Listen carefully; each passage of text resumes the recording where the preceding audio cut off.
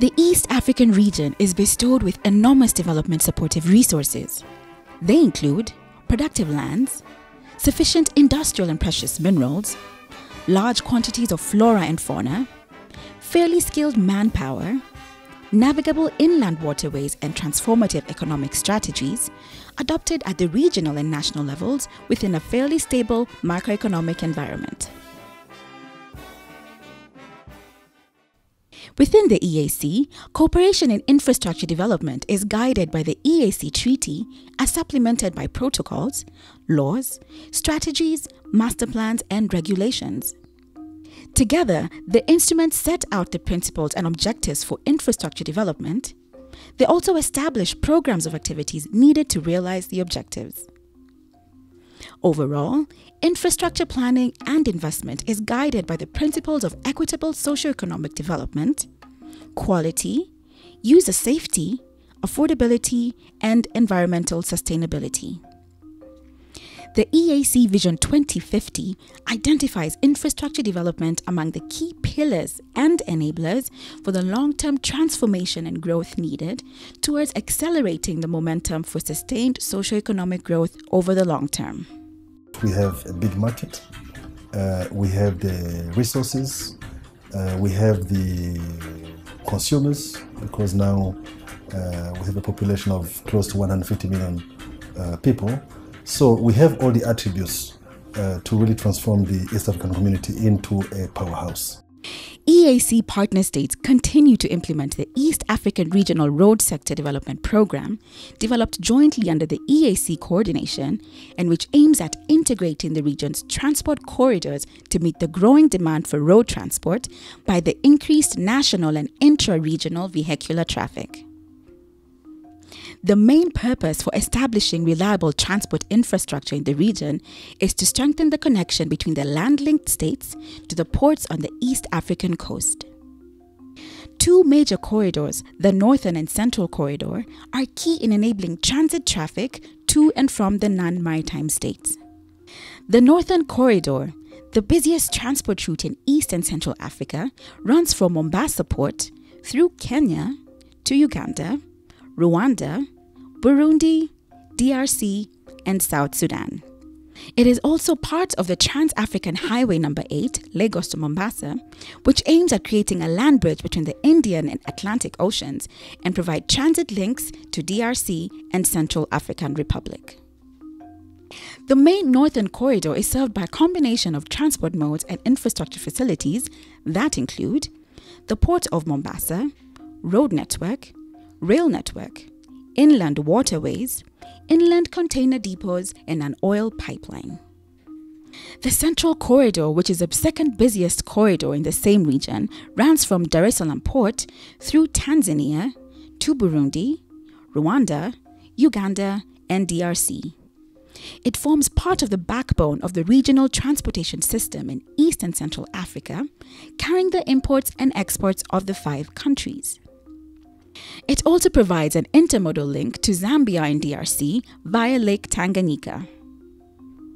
Like the Northern Corridor, the Central Corridor is served by a combination of transport modes and infrastructure facilities that include the Port of Dar es Salaam, road network, rail network, inland waterways, and inland container depots. Other essential road networks include the Trans African Highway Number 4, which stretches the length of Africa from Cape Town to Cairo via Gaborone, cutting across the EAC from Moyale to Nairobi to Namanga to Arusha to Dodoma to Mbeya to Tunduma and onwards to Lusaka. The Lamu Port, South Sudan Ethiopia Transport, LAPSSET Corridor, is a multimodal transport route which aims at connecting Kenya to South Sudan and Ethiopia through the port of Lamu.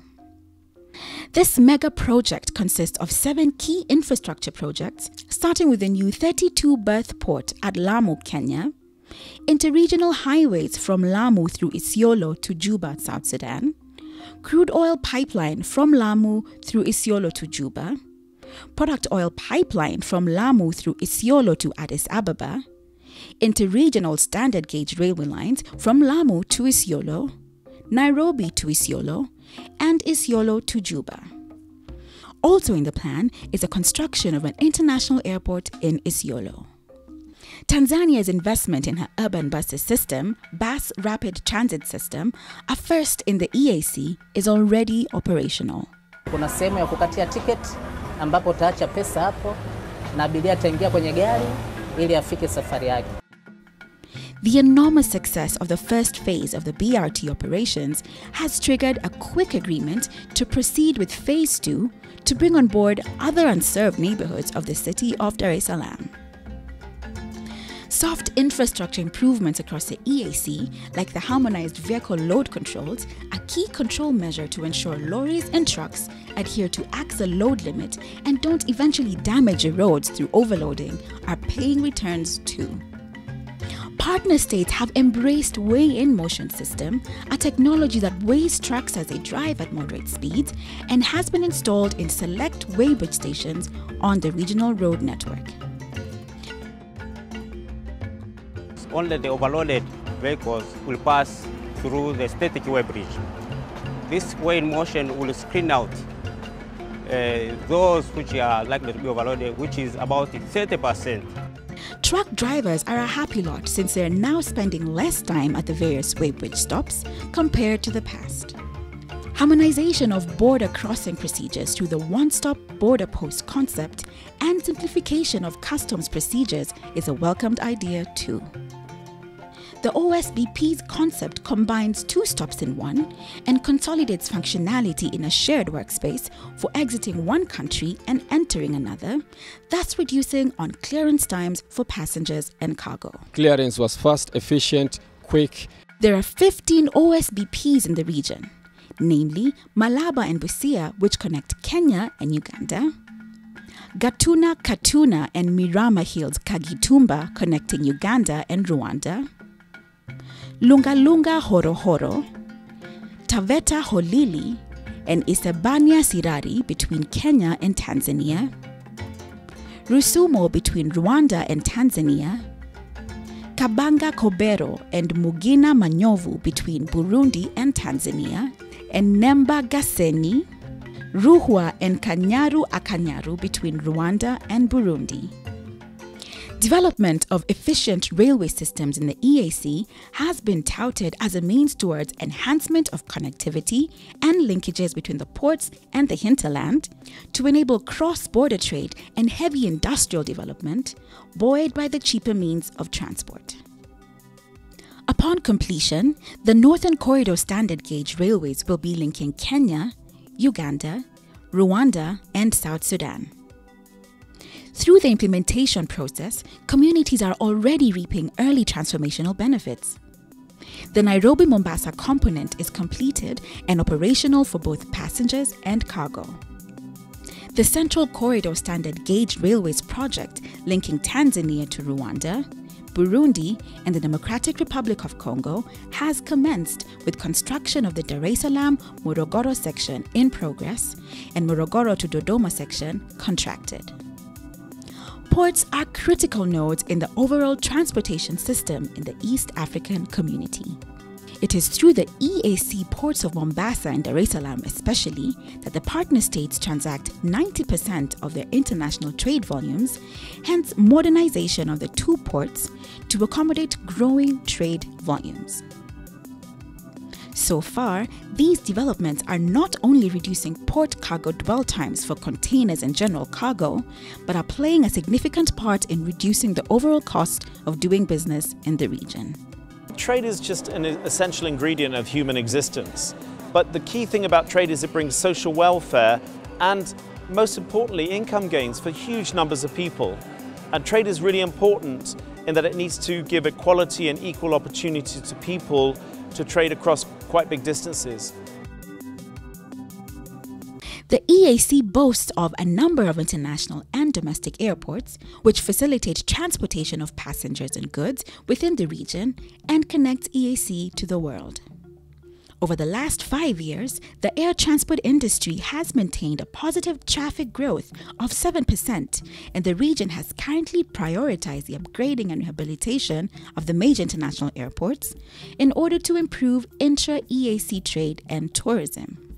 The major international airports include Bujumbura International Airport in Burundi, Jomo Kenyatta International Airport and Moi International Airport in Kenya, Kigali International Airport and New Bugesera International Airport in Rwanda, Julius Nyerere International Airport and Abeid Amani Karume International Airport in Tanzania, Entebbe International Airport in Uganda, and Juba International Airport in South Sudan.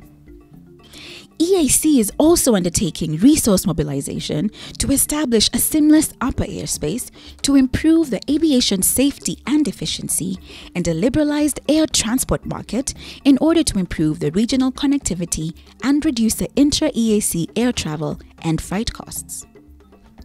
EAC partner states have continued to implement the Regional Power Master Plan that has accelerated investments in power generation, distribution, and interconnectivity infrastructure and efficient energy markets.